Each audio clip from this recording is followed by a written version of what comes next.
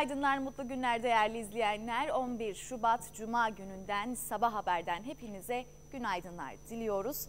Ve bültenimize geçmeden önce hemen kısaca hatırlatmış olalım sizlere. Bizleri televizyon kanallarımızdan takip edebileceğiniz gibi sosyal medya hesaplarımızdan da takip edebileceksiniz.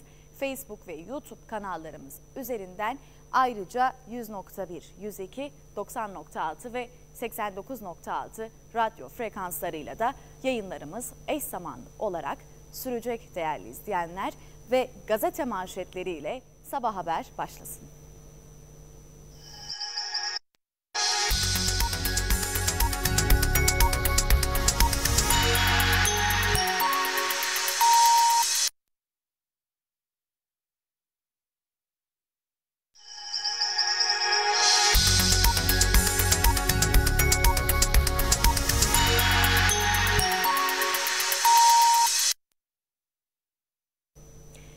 Değerli izleyenler gazete manşetleriyle başlayacağız. Öncelikle Kıbrıs Türk basınında bugün güne dair gelişmeleri sizlerle paylaşmaya çalışacağız ve ilk gazetemiz Güneş Gazetesi oluyor. Güneş Gazetesi'nin manşetine hemen hızlıca bir göz atalım.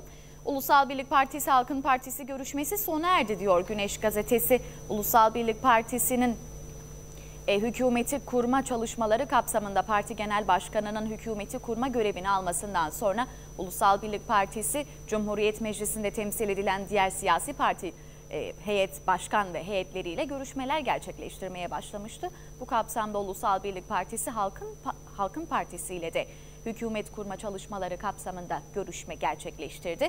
İşte Güneş Gazetesi de bu görüşmeye değiniyor bugünkü manşet haberinde ve önümüzdeki hafta netleştirilecek diyor. Attığı başlıkta da iki parti arasında gerçekleşen hükümete yönelik görüşme kapsamında yaşanacak olanları ve hemen detaylarla devam ediyoruz Güneş Gazetesi'nde. Ulusal Birlik Partisi heyeti hükümet kurma çalışmaları kapsamında Halkın Partisi'ni ziyaret etti diyor. Gazete, görüşme sonrası açıklama yapan her iki başkan da düşüncelerini birbirleriyle paylaştıklarını, önerileri değerlendireceklerini ifade ettiler.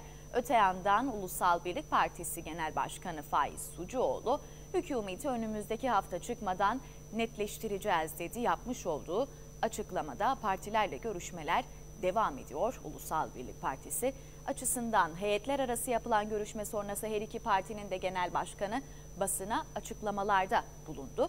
Misafirperverliklerinden ve ilgilerinden dolayı Halkın Partisi'ne teşekkür ederek sözlerine başladı.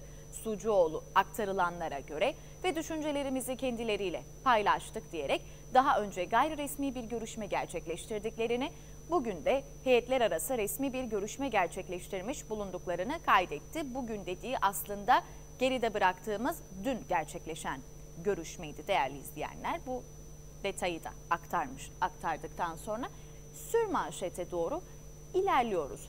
Ve Ulusal Birlik Partisi Genel Sekreteri Oğuzhan Hasipoğlu'nun açıklamasıyla devam edeceğiz. Yine Ulusal Birlik Partisi'ni ilgilendiren bir başka haber. Hasipoğlu Ulusal Birlik Partisi adına şiddetle kınarız şeklinde bir açıklamada bulundu. Hemen detaylarını buluşturalım sizlerle. Kıbrıs Türk'ünün adada varoluş mücadelesinin abidesi olan Türk Mukavemet Teşkilatı'nı illegal suikast, e, suak, suikastçı bir örgüt gibi göstermek Kıbrıs Türk halkına ve onun Türklük davasına yapılmış en büyük ayıptır, saygısızlıktır. Rum-Yunan ikilisinin bu coğrafyada Türk varlığını hedef alarak giriştiği insanlık dışı saldırılara karşı onurlu bir davranış sergileyen ve gösterdiği şanlı mukavemetle Türk halkının varlık mücadelesine tarihi hizmet veren Türk Mukavemet Teşkilatı, Kıbrıs Türk mücahitlerinin bağrından doğan bir oluşumdur. Tarih bilincinden yoksun kişi ya da kişilerin televizyon ekranlarından milli değerlerimize saygı sınırını aşarak saldırmalarını, Kıbrıs Türk halkı ve Türk Mukavemet Teşkilatı'nın ruhunu taşıyan Ulusal Birlik Partisi adına şiddetle kınarız dedi Genel Sekreter Hasipoğlu. Ve hemen logo kenarına bakıyoruz. Süt bedellerinin ödendiği bilgisi var Güneş Gazetesi. Bu bilgiyi paylaşıyor. Tarım ve Doğal Kaynaklar Bakanlığı'na bağlı Süt Endüstrisi Kurumu 16-31 Aralık 2021 devresinin küçükbaş ve büyükbaş çiğ süt bedellerinin %100'ünü geçtiğimiz gün yani dün ödemiş oldu değerli izleyenler. 16-31 Aralık 2021 döneminde süteye süt veren 668 üretici için çiğ süt bedellerinin %100'ü dün üreticilerin banka hesaplarına yatırılmış oldu. Toplamda 35 milyon 625 bin 375 Türk lirası 79 kuruş şeklinde gerçekleşen bir %100 ödeme var. Ve iş insanı Halil Falyalı'nın ve şoförünün tabii ki e, bir silahlı saldırı sonucu hayatını kaybetmesiyle ilgili gerçekleşen olayla ilgili gelişmeler var. Bu gelişmelere bakacağız şimdi. Cinayetle ilgili tutuklama yaşandığını aktarıyor gazete. Mausa bölgesinde sevilen Falyalı ve beraberindeki Murat Demirtaş'ın öldürülmesiyle ilgili zanlı Yusuf Güneş tutuklanarak mahkemeye çıkarıldı. Dün tutuklanan zanlı Ömer Tunç'la Güneş'in birlikte ülkeye giriş yaptıkları ifade edildi diyor gazete aktarılanlara göre.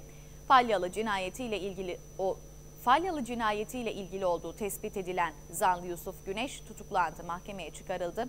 Girne Adli Şube'de görevli polis çavuşu Tolga Ateşli, Yusuf Güneş'in 8 Şubat 2022 tarihinde Falyalı'ya karşı düzenlenen silahlı saldırıyla ilgili tutuklandığını kaydetti. Tunç'la Güneş'in 25 Ocak'ta birlikte adaya geldikleri de belirtiliyor. Aktarılan haberde bu haberin detayları iç sayfalarda da devam edecek değerli izleyenler.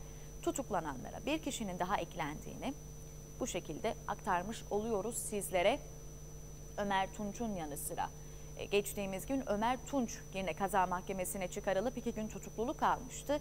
Şimdi de Yusuf Güneş de bu tutuklanan kişi sayısına eklenmiş oldu ve Başbakan Faiz Sucuoğlu'ndan da cinayet konusunda bir açıklama geldi. Sucuoğlu Gazi Mausa'da meydana gelen silahlı saldırı sonucu iş insanı Halil Falyalı ve koruma şoförü Murat Demirtaş'ın hayatını yitirdiği olayla ilgili Polis Genel Müdürü Ahmet Soyalan'la makamında yaptığı görüşme sonrasında açıklamalarda bulundu. Sayın Polis Genel Müdürümüzle bir araya gelerek bu üzücü olayla ilgili polis tarafından yürütülen kapsamlı soruşturma hakkında bilgi aldım. Konunun her yönüyle araştırılmasıyla ilgili yürütülen tüm çalışmaların yakın takipçisi olacağız dedi. Başbakan Faiz Sucuoğlu. Ve yine bir başka haber Güneş gazetesindeki son haber, haberimizle devam ediyoruz. 17 yaşındaki Alara ölümden döndü. Gazi Mausa Lefkoşa ana yolu üzerinde dün saat 16.40 sıralarında 59 yaşındaki İbrahim Hatipoğlu yönetimindeki araç 17 yaşındaki yaya Alara Bent'e çarptı.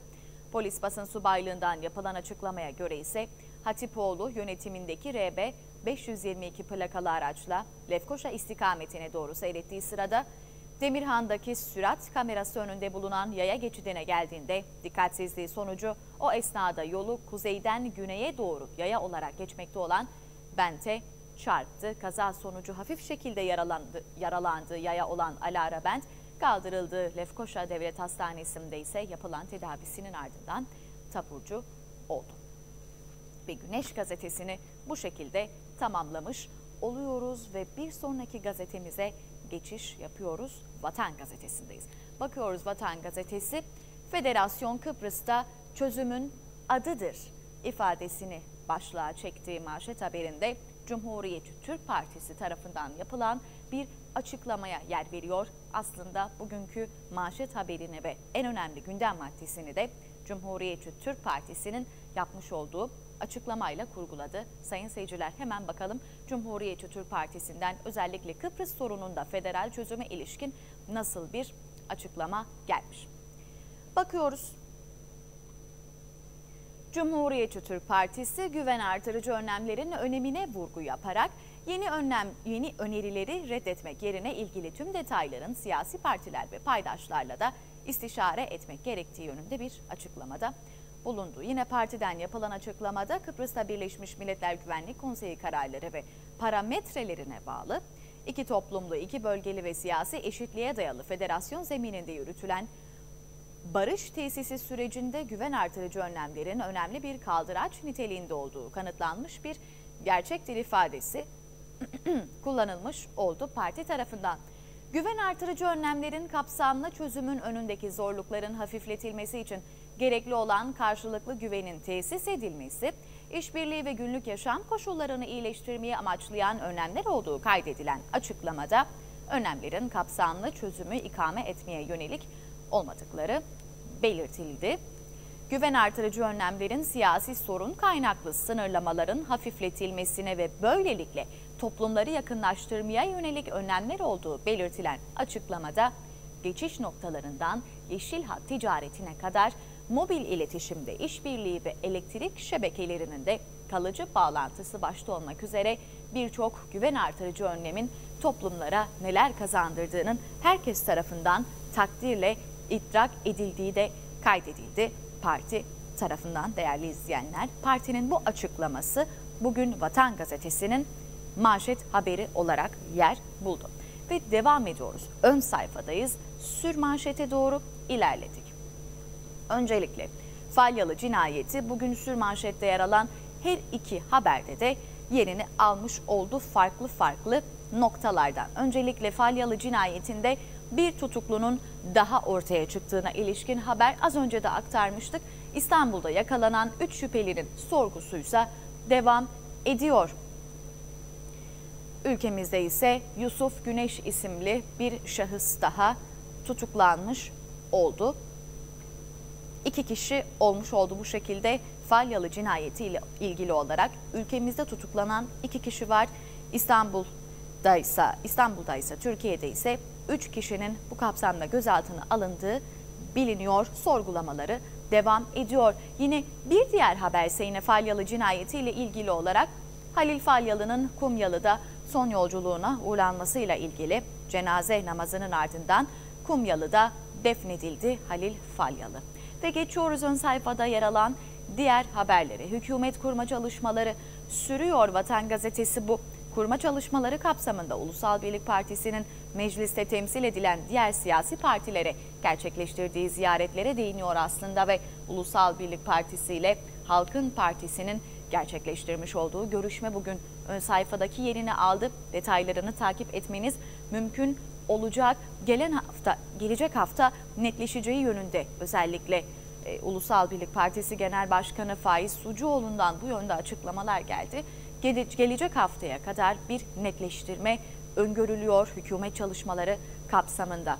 Ve Türk Mukavemet Teşkilatı'nın eleştirilmesine yönelik tepkilere değer verdi bugün Vatan Gazetesi. Bakalım Türkiye Cumhurbaşkanı Yardımcısı Fuat Oktay, Türk Mukavemet Teşkilatı, Kıbrıs Türk halkının destansı direnişinin abideleştiği yerdir ifadelerini kullandı.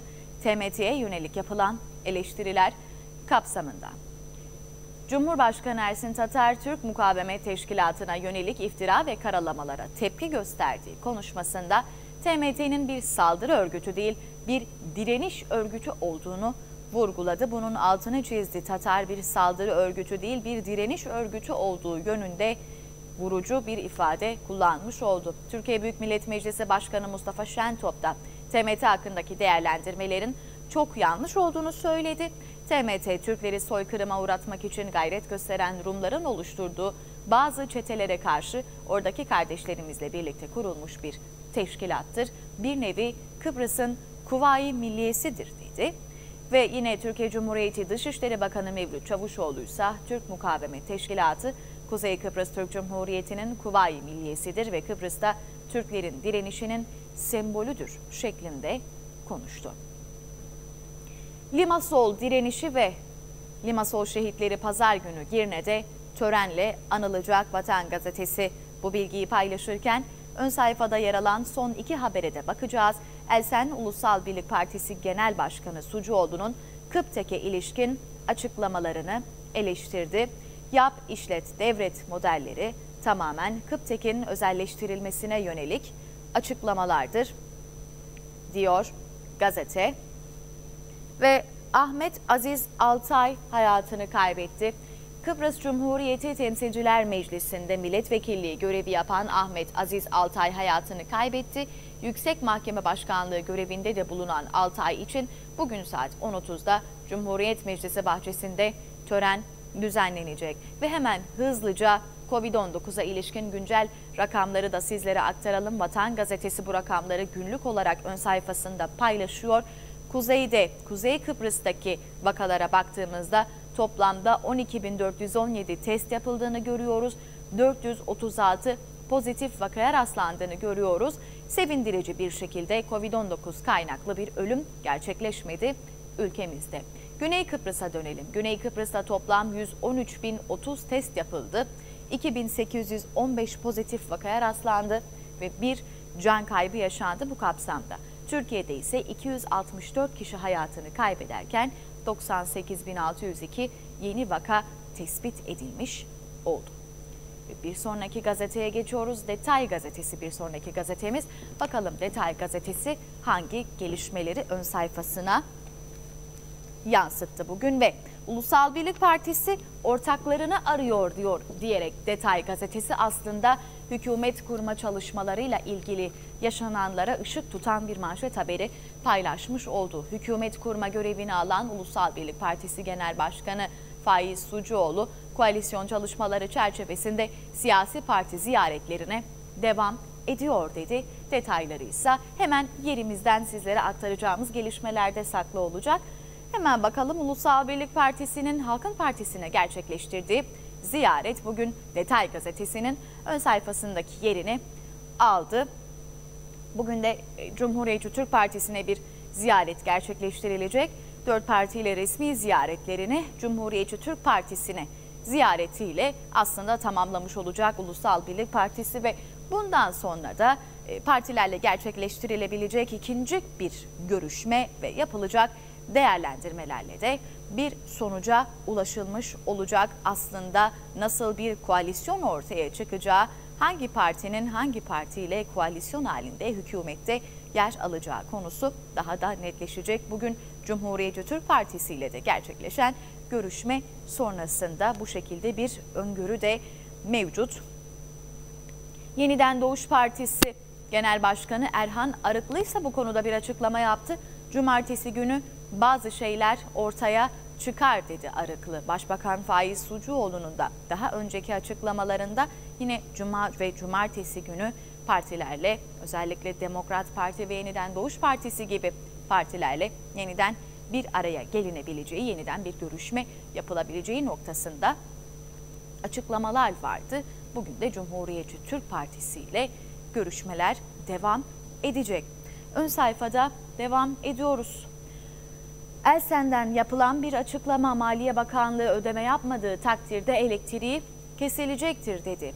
Elsen, Maliye Bakanı yapmış olduğu açıklamada maliyenin Kıptek'e olan borcunun tümünün kuruma ödendiğini açıklamıştır. Bu açıklama gerçeklerle bağdaşmıyor. Maliye Bakanı topluma doğruları söylemiyor.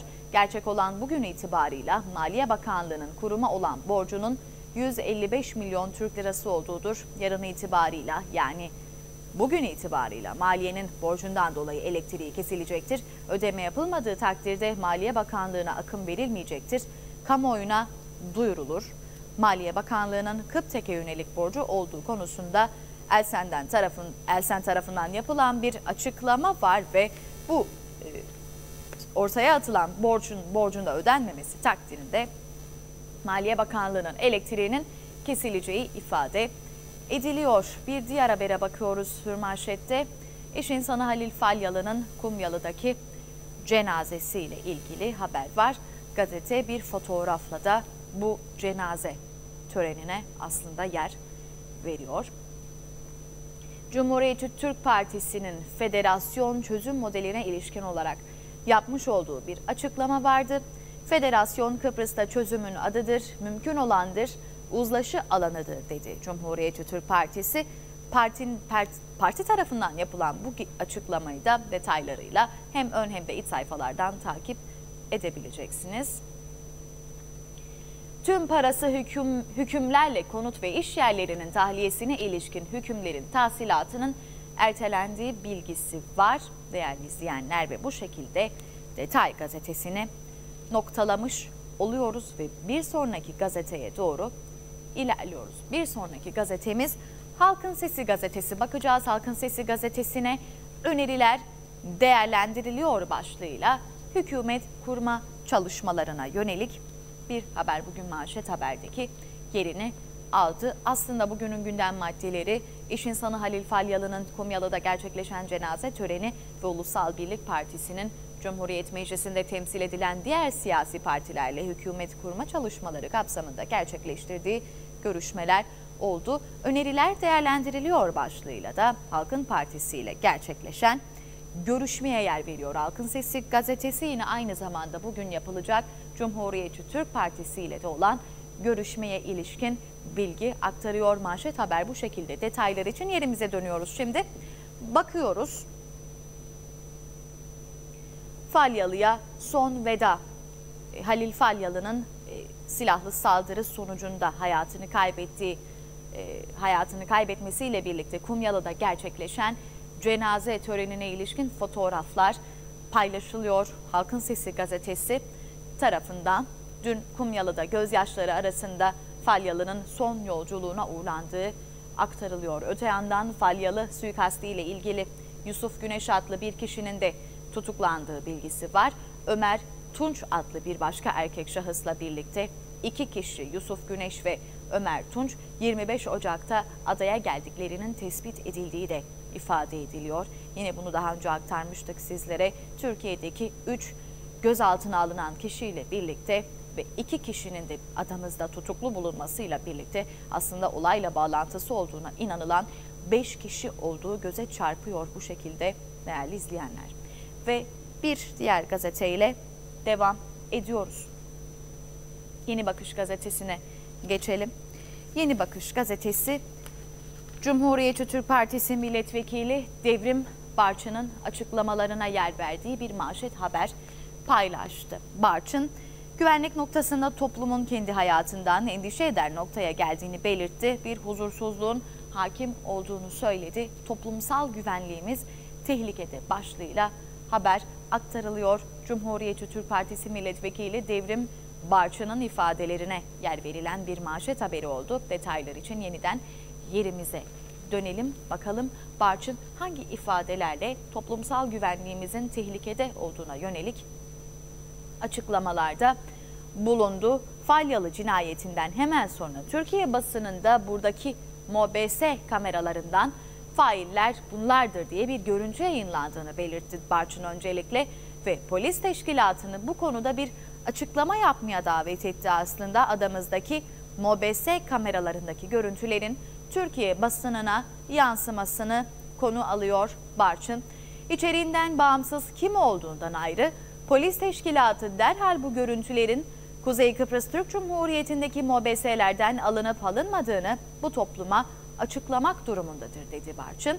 Kent güvenlik sistemi denilen MOBS kameralarına yasaya göre sadece polis teşkilatındaki konuyla ilgili şubedeki personelin ulaşma yetkisi olduğunu da söyledi Barçın. Yine bu görüntüler gerçekse ve bu şekilde dışarıya sızdırılmışsa polis teşkilatının kendi içinde bir güvenlik zafiyeti olduğunu, can güvenliğimizle toplumsal güvenliğimizin tehlikede olduğunun da bir göstergesi olduğunu ifade ediyor bu durumun. Yine Mausa Limanı'nda X-ray cihazının bozuk olduğunu da belirtti Barçın. Bunun önüne gelenin istediğini ülkeye sokabilir anlamına da geldiğine işaret etmiş oldu ve ülkeye girişlerdeki güvenlik önlemlerinin en basiti bir X-ray cihazının bile 3 aydır bozuk olmasının, tırların kontrolünün yapılabilmesi için hiçbir adım atılmamasının bu ülkede güvenlik noktasında sadece Güvenlik Kuvvetleri Komutanlığı'nın ya da polisin değil, ülkeyi yönettiğini iddia edenlerin de bir sorumluluğu olduğunu kaydediyor. Devrim Barçın bu şekilde Yeni Bakış gazetesinden aktarılanlara göre takip edebilmeniz mümkün olacak iç sayfalardan biz sizler için yine detaylı kapsamlı bir şekilde açıklamaya çalıştık. Katiller nerede sorusuyla da aslında Falyalı cinayetine ilişkin bir soruyla sürmanşet haberi ortaya koydu. Bugün Yeni Bakış gazetesi değerli izleyenler takip edebileceksiniz. Ülkemizde 436 pozitif vakaya rastlandığı bilgisi var. Yine Falyalı cinayetiyle ilgili olarak Yusuf Güneş isimli bir erkek şahsın daha tutuklandığı ve Ömer Tunç adlı diğer erkek şahısla birlikte de 25 Ocak'ta adamıza geldikleri belirtiliyor. Önemli bir nokta olarak dikkat çekiyor Falyalı cinayetiyle ilgili. Ve yine Falyalı'nın da son yolculuğuna uğurlandığı haberi var. Yine cenaze namazından bir görüntü de kullanıldı. Falyalı, e, Falyalı'nın definliyle ilgili olarak ve Avrupa gazetesiyle devam ediyoruz şimdi. Avrupa gazetesi değerli izleyenler Falyalı cinayetine yönelik bir haberle bugün manşet haberini hazırlamış oldu okurları için. Kıbrıs'ta Türkiye'de de önemli bir gündem maddesi olmaya devam ediyor dedi Avrupa gazetesi. Söylemez çetesinin lideri Mustafa Söylemez'in İstanbul'da tutuklandığı ancak Emniyet Müdürlüğü'nün henüz bu konuyla ilgili resmi bir açıklama yapmadığı ifade ediliyor. Bu noktada Türkiye'de de İstanbul'da da İstanbul Emniyet Müdürlüğü tarafından yapılan e, sorgulamalar ve gözaltına alınan 3 şahısa işaret ediliyor aslında Avrupa gazetesinde ve bir sonraki gazeteyle devam edeceğiz şimdi Sabah Haber'de. Avrupa gazetesinin ardından Kıbrıs gazetesine dönüş yapıyoruz. Bakalım Kıbrıs gazetesi hangi gelişmelere yer verdi? Kıbrıs gazetesinin ön sayfasındaysa hemen hemen sayfanın tümünü kapsayacak şekilde çok geniş bir fotoğrafla iş insanı Halil Falyalı'nın Kumyalı'da gerçekleşen cenaze cenazesiyle ilgili, definiyle ilgili bir haber var. Son veda başlığıyla bu haberin yansıdığını görüyoruz. Geçtiğimiz günlerde şoförüyle birlikte hayatını kaybetmişti Halil Falyalı. Silahlı bir saldırı sonucunda ve Kumyalı'da ise dün cenaze töreni, cenaze namazı gerçekleştirildi ve defnedildi. Son veda başlığıyla Kıbrıs gazetesi bu defin işlemine işaret ediyor. Detayları için yerimize dönelim tekrardan. Hemen bakıyoruz. Çatalköy'de suikaste kurban giden iş insanı falyalıyla şoförü Murat Demirtaş'ın faillerinin bulunmasına yönelik Kuzey Kıbrıs Türk Cumhuriyeti ile Türkiye polisi işbirliği yaptı. Kuzey Kıbrıs Türk Cumhuriyeti'nde olayla bağlantılı bir kişi daha tutuklandı. İstanbul'da gözaltına alınan biri suç örgütü lideri 3 kişiyi sorguya 3 kişi sorguya alındı. Çifte cinayetin aydınlatılmasına yönelik soruşturma sürerken Halil Falyalı ise dün köyü Kumyalı'da toprağa verildi. Ömer Tunç isimli bir erkek şahsın yanında Yusuf Güneş adlı bir başka erkek şahıs daha dün tutuklandı ülkemizde. Türkiye'de ise biri bir suç örgütü lideri olmak üzere 3 kişinin de sorgusu devam ediyor. Kişi sayısı 5'e yükselmiş oldu. Bu şekilde devam ediyoruz. Ön sayfada gezinmeye ve diğer haberler, haberleri sizlere aktarmaya. Ulusal Birlik Partisi Halkın Partisi görüşmesi de sürmanşetteki yerini aldı bugün. Halkın Partisi uzlaşmaya varılırsa ülkeye hükümette hizmet vermek istiyor başlığıyla aktardı Kıbrıs gazetesi. Ulusal Birlik Partisi Halkın Partisi arasındaki görüşmeyi ve logo kenarıyla devam ediyoruz. Bahis sitelerinin finans destekçileri yakalandı. Mali polis Ozanköy'de gerçekleştirdiği operasyonda yasa dışı bahis sitelerine finans hizmeti sağladıkları gerekçesiyle 3 kişiyi tutuklarken 1437 adet sim kart, bilgisayar, cep telefonu ve banka kartları da ele geçirmiş oldu. Ve Kıbrıs gazetesini bu şekilde noktalayarak bir sonraki gazeteyle devam ediyoruz. Bir sonraki gazetemiz Yeni Düzen gazetesi. Bakalım Yeni Düzen gazetesine. Yeni Düzen gazetesi acı son ve 5 tutuklu diyerek aslında şimdiye kadar yaşanan tüm güncel gelişmelere ilişkin bir manşet haber paylaşmış oldu. Hem Halil Falyalı'nın e, cenaze törenine ilişkin bir gelişme hem de bir kişinin daha tutuklanmasıyla olayla bağlantısı olduğuna inanılan 5 kişiyi 5 kişiye işaret ediyor Yeni Düzen gazetesi. Ülkemizde dün ikinci bir şahıs tutuklanırken Türkiye'de de 3 kişinin sorgusu devam ediyor. Bu kişilerden bir tanesinin de suç suç örgütü lideri olduğu üzerinde duruluyor. Ve hemen detayları için yerimize dönüyoruz. Falyalı Kuzey Kıbrıs Türk Cumhuriyeti Türkiye Cumhuriyeti bayraklarına sarılı tabutla dikkat çekici bir kalabalık tarafından toprağa verildi diyor Yeni Düzen gazetesi. Ve devam ediyoruz. Ön sayfada yer alan başka bir gelişme yok değerli izleyenler Falyalı cinayetine ayrılmış bir ön sayfayla bugün Yeni Düzen gazetesi manşetini bu şekilde okurları için aktarmış oldu. Ve Diyalog gazetesiyle devam ediyoruz. Diyalog gazetesi de Falyalı cinayetine ilişkin bir haber paylaştı. Falyalı cinayetiyle ilgili olarak adamızdaki tutuklu sayısının ikiye çıktığını İstanbul'da gözaltına alınan 3 kişiden birinin de Söylemez çetesinin lideri Mustafa Söylemez olduğunu ifade ediyor. Bu yönde bir açıklama yapıldığını ifade ediyor. Düğüm çözülüyor başlığıyla aktardı Diyalog gazetesi bu gelişmeyi. Falyalı cinayetinde kimlerin bu saldırıyı işleyebil, işleyebilmiş olabileceğine ilişkin düğümün çözülmeye başladığına işaret ediyor Diyalog gazetesi gelişmeler için yerimizi alıyoruz. Cumhurbaşkanı Tatar'ın da bu konuyla ilgili açıklaması Tatar Falyalı cinayeti konusunda özellikle web sitelerine uyardı. Olay başka yöne çekilmesin şeklinde bir açıklamada bulundu Cumhurbaşkanı. Tatar Devam ediyoruz. Ön sayfada yer alan diğer haberler. Akacan'a kurşun yağdıran Kamil Sezgin'e yardım ettiği iddia edilen Mehmet Bahçeci teminatla serbest bırakıldı. 50 bin Türk lirası teminat ödedi. Devam ediyoruz. Diğer adli haberler. Esentepe'de meydana gelen silahlı ve maskeli soygunun zanlıları cezaevine gönderildi. İki ayda yargı ve bir diğer haber ise Mali Polis'in gerçekleştirdiği yasa dışı sanal bet operasyonunda 3 kişi tutuklandı. 1440 kart ele geçirildi deniliyor ve bu şekilde Diyalog gazetesinin ön sayfasında yer alan son haberle birlikte değerli izleyenler Kıbrıs Türk basınında gelişmelerin sonuna gelmiş bulunuyoruz. Aslında Kıbrıs Türk basınında bugün 11 Şubat Cuma gününe yönelik yer alan haberleri sizlerle paylaşmaya çalıştık. Günün gündeminde hangi haberler bugün gündeme oturdu? Bunları sizlerle paylaşmaya çalıştık. Tabii ki gazete manşetleriyle gelişmeleri aktarmaya devam edeceğiz. Özellikle Türkiye basını ve Kıbrıs Rum basınıyla ama öncelikle güne hızlı bir bakış atalım.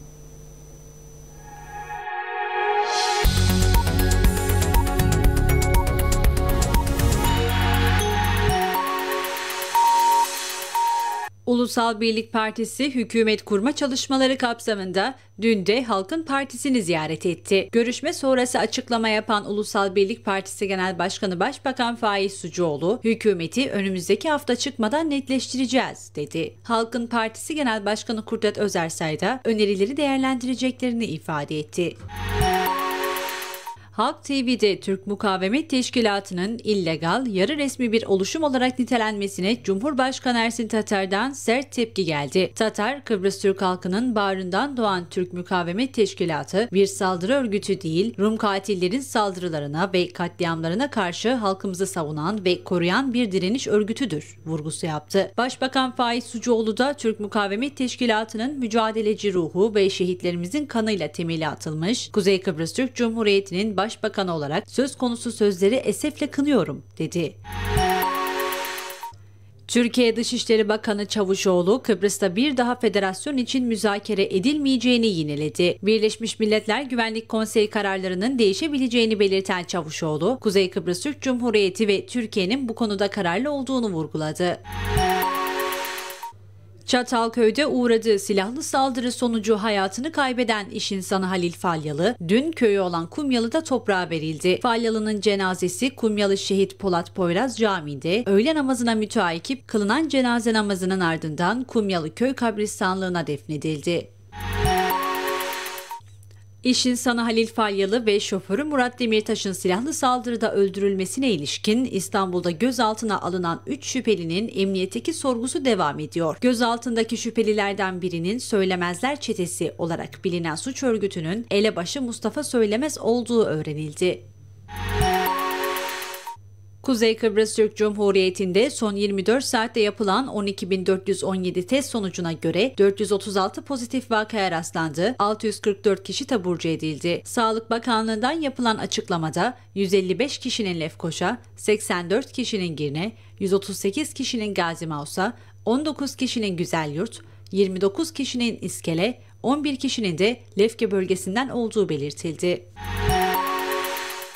Kıbrıs Türk halkına önemli hizmetler veren Ahmet Aziz Altay hayatı gözlerini yumdu. Türk Mukavemet Teşkilatı'nın kurucuları arasında yer alan Kıbrıs Cumhuriyeti Temsilciler Meclisi'nde milletvekilliği görevi üstlenen Altay 95 yaşında vefat etti. Yüksek Mahkeme Başkanlığı görevinde de bulunan Ahmet Aziz Altay için bugün saat 10.30'da Cumhuriyet Meclisi bahçesinde tören düzenlenecek. Kıbrıs Türk Elektrik Kurumu Çalışanları Sendikası, Maliye Bakanı'nın Maliye Bakanlığı'nın Kıbrıs Türk Elektrik Kurumu'na olan borcunun tümünü kuruma ödediğine yönelik açıklamasının gerçeği yansıtmadığını ileri sürdü. Sendika, Maliye Bakanlığı'nın Kıptek'e 155 milyon Türk lirası borcu olduğunu savunarak bugün itibariyle Maliye Bakanlığı'nın elektriğinin kesileceğini ve ödeme yapılmaması halinde bakanlığa akım verilmeyeceğini açıkladı.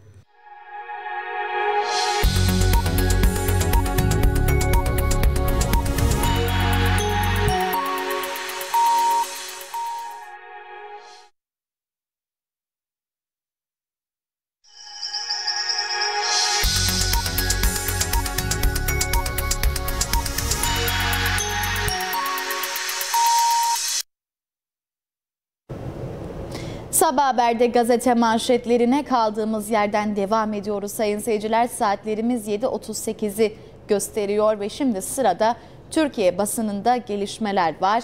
11 Şubat Cuma gününe yönelik bakalım bugün gazete manşetlerinde hangi haberler yerini buldu ön sayfada. İsrailliye suikast İsrailli suikastı MIT engelledi başlığıyla bugün manşet haberini paylaşıyor Sabah gazetesi.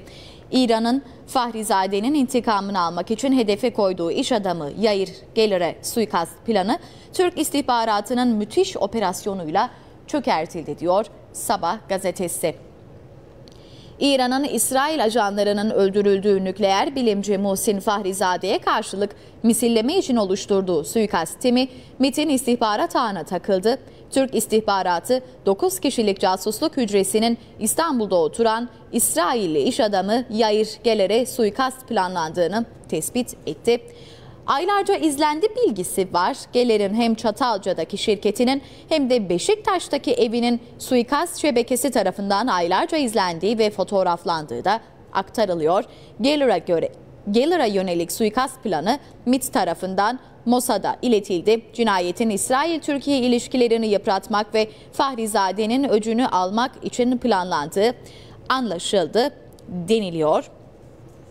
Ve devam ediyoruz. 8 kişi bu kapsamda kıs, kıskıvrak yakalandı aktarılanlara göre ve ülkemizde gerçekleşen Falyalı cinayeti dün de bahsetmiştik sizlere. Türkiye basınında da dünya basınında da geniş bir yer buldu. Aslında bir yankı uyandırdı ülkemizde olduğu kadar ve söylemez çetesine Falyalı baskını başlığıyla da İstanbul'da bu kapsamda sorguya alınan 3 kişi vardı. Kıbrıs Türk basınında da sizlerle paylaşmıştık. Ülkemizde 2 kişi tutuklanırken İstanbul Emniyet Müdürlüğü tarafından da biri suç örgütü lideri olmak üzere 3 kişinin sorguya alındığı bilgisi vardı.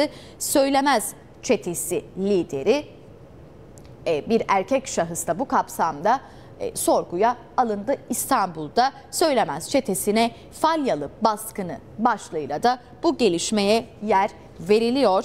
Kuzey Kıbrıs Türk Cumhuriyeti'nde otel ve kumarhane işleten iş insanı Falyalı'nın öldürülmesine ilişkin İstanbul ve Lefkoşa'da 6 kişi göz altında deniliyor. Ancak bunu 2 kişinin tutuklu olduğu, 3 kişinin de e, sorguda olduğu bilgisiyle e, tekrarlamış olalım sizlere Başkan Erdoğan Covid-19'u atlattı. Sabah gazetesi bu bilgiye de yer veriyor. Başkan Erdoğan'ın yaptırdığı son iki PCR testinin negatif çıktığı aktarılıyor.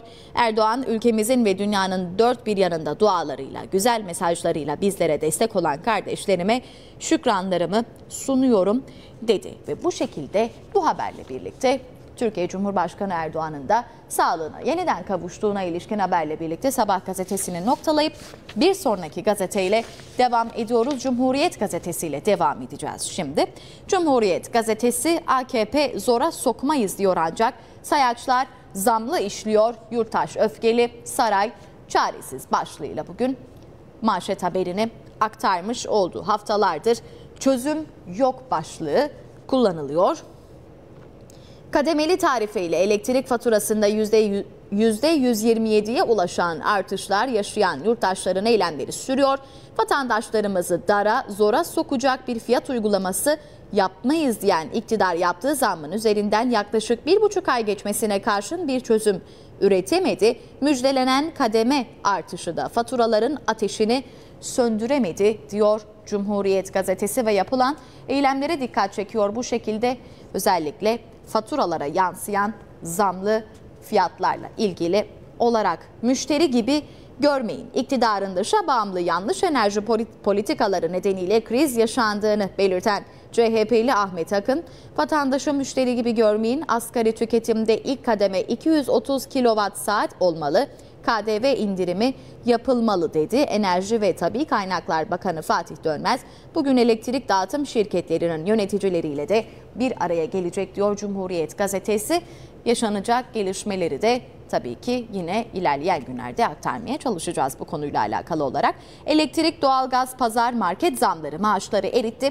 Emeklinin adı yok başlığıyla da bu haberin yansıdığını görüyoruz. Emeklilerin zammı bir ayda eridi. Toplum çıldırmak üzere başlığıyla aktarılan gelişmeler var değerli izleyenler. Bakan Çavuşoğlu'ndan Yunanistan'a vazgeçin mesajı Doğu Ege tepkisi başlığıyla aktarılıyor. Bakan Çavuşoğlu Yunanistan'ın Lozan ve Paris anlaşmaları uyarınca gayri askeri statüde olan Doğu Ege adalarına yönelik ihlali konusunda bu ihlalden vazgeçmezse bu adaların egemenliği tartışılır dedi Bakan Çavuşoğlu e, Yunanistan'a bu şekilde bir vazgeçin mesajı tepkisi vermiş oldu. Ve bir sonraki gazeteyle devam ediyoruz. Milliyet gazetesine geçiş yaptık şimdi. Milliyet gazetesi NATO sözü tutulmalı başlığıyla manşet haberini paylaşmış oldu. Milliyete konuşan Rusya Başkonsolosu Buravov, NATO'nun Rusya'ya doğru genişlemesinin bir çabası olan gelişmelerin barışçıl çözülmesini amaçlıyoruz dedi. Hemen detaylarını sizlerle paylaşmaya çalışalım. Rusya'da kutlanan Diplomatlar Günü nedeniyle milliyeti ağırlayan Rusya İstanbul Başkonsolosu Buravov, Rusya-Ukrayna sınırındaki gerginliğe dair Ukrayna tarihten gelen birlikteliğimiz olan bir ülkedir. Halklarımız etnik ve tarihsel olarak birbirine çok yakındır. Yaşananların Rusya ve Ukrayna'nın yararına olmadığı açıktır dedi. Bu Rusya'ya tehdittir başlığıyla da aktarılan detaylar var. Rusya'ya NATO genişlemeyecek çünkü ihtiyaç yok sözü verildi diye konuşu, konuşan Buravov ama altı dalga halinde hep doğuya yani Rusya sınırına doğru genişledi. Blokun doğu sınırı Rusya'ya dayandı. Rusya sınırındaki ülkelerde askeri üsler kuruldu. Bunlar Rusya'nın güvenliği açısından direkt tehdit ve tehlikedir ifadelerine yer verdi. Buravov Milliyet gazetesine yönelik yapmış olduğu açıklamalarda NATO sözü tutulmalı başlığıyla bu haber manşetten yansıdı. Dilerseniz ön sayfadan ve iç sayfalardan detaylı şekilde takip edebileceksiniz. Rusya'nın bu son dönemdeki siyasi gündemini ve gelişmeleri biz ön sayfada gezinmeye devam edelim. Rusya'nın yanı sıra hangi haberlere yer vermiş Milliyet gazetesi. Ve Türkiye Cumhurbaşkanı Recep Tayyip Erdoğan'ın Covid-19'u yenip tekrar sağlığına kavuşması haberi Milliyet gazetesinin de ön sayfasına yansımış oldu. Elektrik için fatura zirvesi faturayı ödemezse elektriği kesilsin. MHP lideri Bahçeli, Kılıçdaroğlu'nun zamlar geri alınana kadar elektrik faturamı edemeyeceğim, ödemeyeceğim sözlerine ilişkin bir tepki koydu aslında. Faturayı ödemezse elektriği kesilmelidir dedi. Yine de karanlıkta kalmasına gönlüm razı olmuyor diyen Bahçeli il teşkilatlarından Kılıçdaroğlu'na kandil göndermesini istedi. Bu şekilde siyasiler arasındaki e, tepkisel iletişimlerde aktarılıyor. Elektrik için fatura zirvesi Enerji Bakanlığı ile elektrik dağıtım şirketleri bugün elektrik fiyatlarını masaya yatıracak. Bakan Dönmez'in de katılacağı toplantıda kademeli tarife görüşülecek. Elektrik şirketlerinin gelir gider durumlarıyla esnafın taleplerinin de ele alınması beklenen toplantı sonrasında elektrikte yeni bir yol haritasının netleşmesinin de beklendiği ifade ediliyor. Elektrik zammıyla ilgili olarak Türkiye'de halkın tepkileri sürüyor. Sayın seyirciler bu konuda bir gelişme yaşanması da öngörülüyor bugün yapılacak toplantıyla alakalı olarak. Ve 434 derslikte eğitime ara verildi. Bu gelişme de var. Milli Eğitim Bakanı Özer okullarda ikinci dönemde yüz yüze eğitime devam edeceklerini açıkladı. 850 bin derslikten sadece 434'ünde vakalar nedeniyle yüz yüze eğitime ara verildiğini kaydeden Özer, bu dersliklerin toplam sayısının binde birinin çok altında şeklinde bir açıklamada bulundu. Ve Milliyet gazetesini bu haberle noktalayıp bir sonraki gazetemizle devam ediyoruz. Akşam gazetesi var karşımızda. Akşam gazetesi Atatürk maskeli Kuvayi Milliye düşmanları CHP'nin yayın organı Halk TV'nin Atatürkçü olduğunu savunan sunucusu Ayşenur Arslan, Kıbrıs Türk halkını Rum Evka çetesinin katliamlarından kurtaran Türk Mukavemet Teşkilatı'nı suikastçı illegal örgüt olarak niteledi. Bu haberin detaylarını şimdi sizlerle paylaşacağız. Mücahitlerden sert cevap. Kuzey Kıbrıs Türk Cumhuriyeti'nin Kuvayi Milliyesi TMT'yi hedef alan Arslan'ın sözlerine ilk tepki TMT kahramanlarından geldi. Mücahitler Derneği'nin açıklamasında gazeteci kisvesiyle milli sembollerimize yaptığınız algı suikastının başarıya ulaşma şansı yok denildi Arslan'a yönelik ve saatler sonra da yüzsüz özür şeklinde bir başlıkla aktarılan detay var. Bu detayı da sizlere aktaralım. Türkiye'de de tepki çığ gibi büyürken CHP'den akşam saatlerine saatlerine kadar resmi açıklama gelmedi. Arslan 24 saat sonra iki cümle üzerinden kıyamet koparıldı. Amaç bizi susturmak, asıl hedef bağımsız medya, incittiklerimden özür dilerim şeklinde kendini savundu diyor Akşam gazetesi. TMT'ye yönelik yapılan açıklama ve bu açıklamaya da gelen tepkiler Türkiye basınında da görüleceği üzere bu şekilde yer alıyor değerli izleyenler. Doktor muayenesi e-nabızda. Sağlık Bakanlığı'nın Doktor e-nabız uygulamasıyla uzaktan muayene dönemi başlamış olduğu bu haberi de sizlerle paylaşalım. Korona hastaları SMS ile online muayene muayeneye yönlendiriliyor muayeneyi kaçırma veya izolasyon bozma riski ortadan kalkıyor. Hekim gereklilik görmesi halinde hastayı hastaneye çağırıyor. İzinli sağlık kuruluşları da artık uzaktan hizmet sunabilecek. Uzaktan muayene sırasında hastadan kimliğini göstermesi istenecek ve bu sistemle hekimler hastalara e-reçete ve raporda yazabilecek. E-nabızda doktor muayenesi devreye girmiş oldu. Bu şekilde ve az kalsın donacaklardı başlığıyla da son bir haber aktaracağız akşam gazetesinin ön sayfasından sizler için. Tartışan çift çocuklarını otomobilin içinde bıraktı. Haber bu şekilde. Kütahya'da R ile ŞK'nin otomobilde bıraktığı 2 ve 5 yaşlarındaki kardeşler çevredekilerin ihbarı üzerine 3 saat sonra kurtarıldı.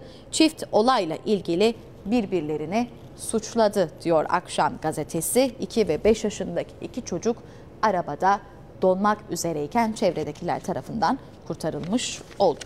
Bir sonraki gazetemiz Türkiye Gazetesi. Bakalım Türkiye Gazetesi'ne Ankara'dan Ege'yi cephaneliğe çeviren Yunan'a rest adaları tartışırız dedi.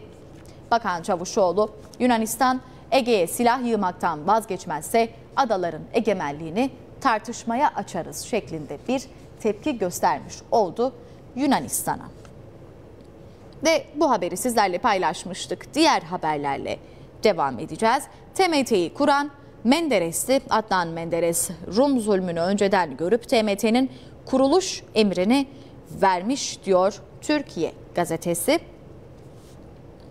Devam ediyoruz bir başka haberle. İç ısıtan iyilik başlıkla başlığıyla aktarılan bir haber. Afyon'da yolda kalanlara çay ikram eden İmam ile Aksaray'da öğrencisinin ıslak çorabını değiştiren öğretmen Türkiye'nin gönlünü fethettiler deniliyor.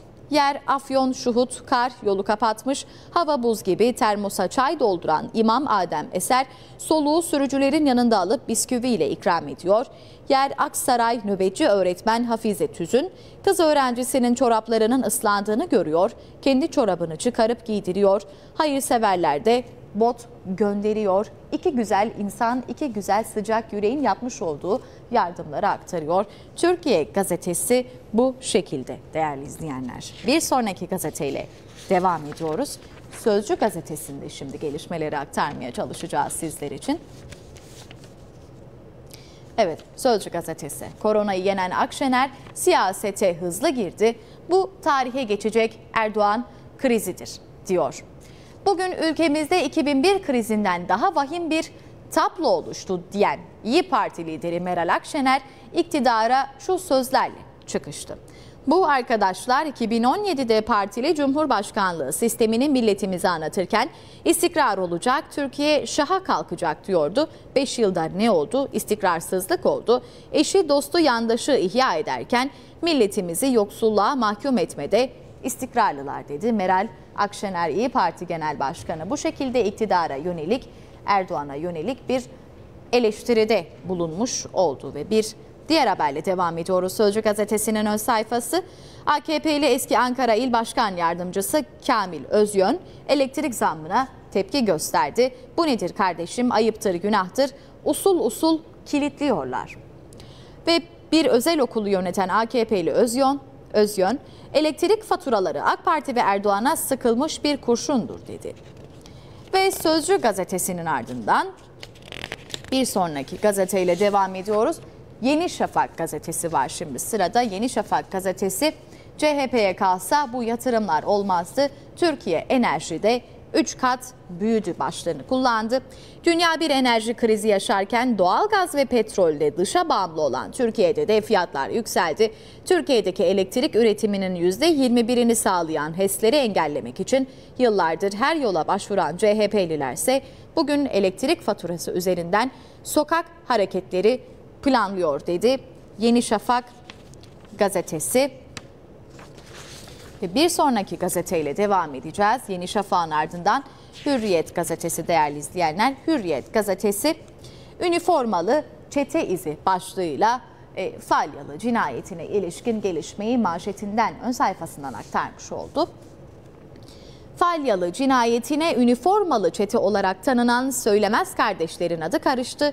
Çetenin elebaşı Mustafa Söylemez'le cinayette tetiği çekmekle suçlanan iki adamı iki adam İstanbul'da gözaltına alındı. Falyalı'yla görüşmüş ve Rahşan affıyla çıktılar detaylarıyla paylaşılıyor bu haber. İç sayfalarda ve ön sayfalardan da takip edebilmeniz mümkün olacak ve bu haberle birlikte Hürriyet gazetesini de noktalıyoruz ve aslında Türkiye basınını noktalıyoruz.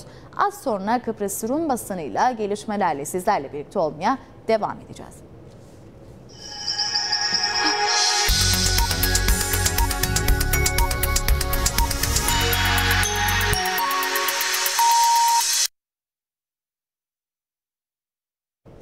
Evet sayın seyirciler şimdi de sırada Kıbrıs Rum basınında gelişmeler var. 11 Şubat Cuma gününe yönelik bakalım Kıbrıs Rum basınında hangi gelişmeler bugün gazete manşetlerindeki yerini almış. İlk gazetemiz Politis gazetesi olacak. Politis gazetesi bugün manşetinden aktardığı haberinde lüks arabalarla dolandırıcıların devrini yıkıyorlar başlarını kullanarak Güney Kıbrıs'ta tutuklama, ihlal, sahte belgeler ve yeni gibi kazalı araçların olduğuna değiniyor. Haberin detaylarında gazetenin elde ettiği bilgilere göre Rum polisinin kazalı araçları tapularında temiz olarak gösteren bir çetenin peşinde olduğu, Rum Karayolu Taşımacılığı Dairesi çalışanlarının ve kullanılmış araç satıcılarının bu bölüme girip girmediklerinin kontrol edildiği ve alıcıların neredeyse yeni olduğu izlenimi veren bu araçlara on binlerce euro ödediği aktarılıyor. Yine Politis gazetesinin aktardığı bir başka haberde ise Güney Kıbrıs'ta koronavirüsten iyileşenlerin sayısının son 24 saatte yükselişe geçmesinin ardından uzmanların Mart ayına kadar önlemlerin aşamalı olarak kaldırılması yönünden umutlarını yeniden canlandırdığına değiniyor. Ve bir sonraki gazeteyle devam ediyoruz. Haravki gazetesi Disi'nin Aradipu'daki tertibine 75 milyon euro haraç başlığını kullandığı manşet haberinde kanalizasyon uygulamasının önündeki engelin bedelini tüm mükelleflerin ağır ödeyeceğine değiniyor. Haberin detaylarında Güney Kıbrıs'ta bulunan Aradipu, Livadya, Pile ve Oroklini bölgelerinin Larnaca Kanalizasyon Konseyi'ne entegrasyonunun finansal olarak uygun olmadığı, 200 milyon euro mevcut maliyetle maliyetin ne geri alınabildiği ne de banka kredisinin güvence altına alınabildiği ve vergi mükellefiyetine ek olarak Rum hükümetinden 25 yıl boyunca toplam 75 milyon euro kanalizasyon ücreti alınacağı aktarılıyor. Alitya gazetesine dönüş yaptık. Alitya gazetesi manşet haberinde yönlendirmelerde dikey düşüş başlığını kullandı. İstismar için yeni kovuşturmaların yapıldığına ve Rum genel sağlık sistemine yönelik ve uzman doktorların ücretlerine yönelik düzeltici tedbirlerin alındığına değindi. Haberin detaylarında Güney Kıbrıs Kamu Sağlık Hizmetleri Örgütü tarafından Rum Meclis Sağlık Komitesi'nin operasyonel fazlalık sürecinde olduğuna dair bilgilendirme yapıldı ve Rum Maliye Bakanı Konstantinos Pedridis'in Rum Sağlık Güvenliği Örgütü'nün tüm hizmetleri olması gerektiği gibi karşılamadığı ve vergi mükellefiyetini de ikiye katladığı aktarılıyor. Bir diğer ön sayfa haberinde ise önceki gün suikaste uğrayarak öldürülen iş adamı Falyalı cinayetinin arkasında Mustafa Söyleme, Söylemez olduğu da yazıldı. Ve son gazetemiz Filelefteros gazetesi olacak. Gazete Akel'de Savaş ve İrini başlığıyla aktardığı manşet haberinde Ezekya Papayanlu'nun 2023'te yapılacak Rum başkanlık seçimleri için açtığı cephenin korunduğuna değiniyor. Haberin detaylarında Akel liderliği cephesinin 2023 Rum başkanlık seçimlerinin arka planında İrini Haralambidu'nun aktif olmaya devam ettiği eski Rum Sağlık eski Rum Sağlık Bakanı Yorgos Pamboridis'in Akel'den destek alma ihtimali ve milletvekilinin tepkisi nedeniyle geçtiğimiz günlerde Rum kamuoyunda çıkan tartışmaların açtığı yaranın kapanmamış gibi göründüğü ve solun partisinde içe dönüklük koşulları yarattığı aktarılıyor. Bir başka ön sayfa haberinde ise Doğu Akdeniz'deki hareketler sadece Türk izniyle başlığını kullanarak Türkiye Cumhuriyeti Dışişleri Bakanı Çavuşoğlu'nun Güney Lefkoşa, Atina ve Doğu Akdeniz'de faaliyette bulunmak isteyen herkese bunun Türklerin izni olmadan mümkün olmayacağını hatırlattığına ve konunun tekrar Türkiye üzerinden doğal gaz boru hattı döşenmesine geldiğine ve doğal gaz gelirlerinden eşit pay talep ettiklerine değiniyor ve Filelefteros gazetesiyle birlikte değerli izleyenler Kıbrıs Rum basınında da gelişmeleri sizlerle paylaşmış olduk ve bu şekilde aslında gazete manşetlerini noktalamış oluyoruz değerli izleyenler ve az sonra çok kısa bir aranın ardından haber bültenimizle hem dün yaşanan hem de bugüne dair gelişmeleri sizlerle paylaşmaya devam edeceğiz.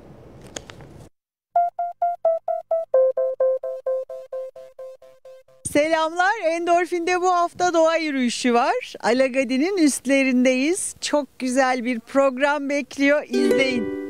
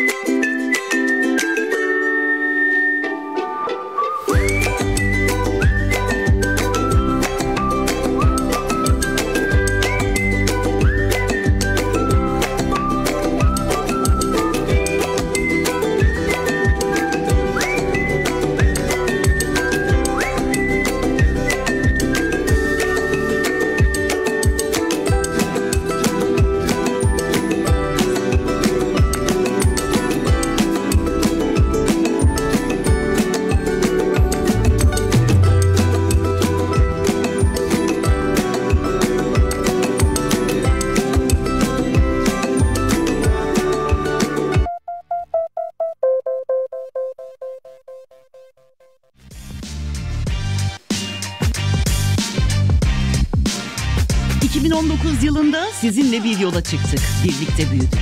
Sizlerle birlikte paylaştık, paylaşıldık. Sizin beğenileriniz bizi biz yaptı. Sizinle dünyaya açılan kapı olduk.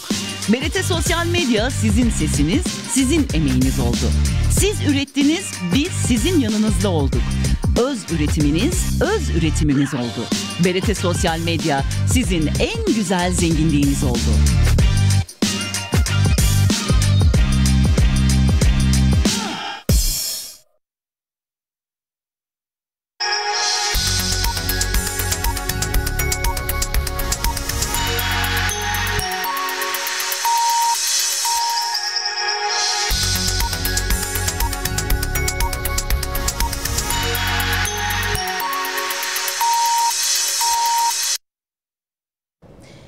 Saatlerimiz 8'i gösteriyor ve sabah haberde sırada haber bültenimiz var sayın seyirciler.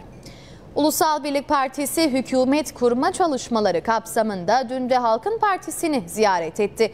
Görüşme sonrası açıklama yapan Ulusal Birlik Partisi Genel Başkanı Başbakan Sucuoğlu, hükümeti önümüzdeki hafta çıkmadan netleştireceğiz dedi. Halkın Partisi Genel Başkanı Kudret Özersay da önerileri değerlendireceklerini ifade etti.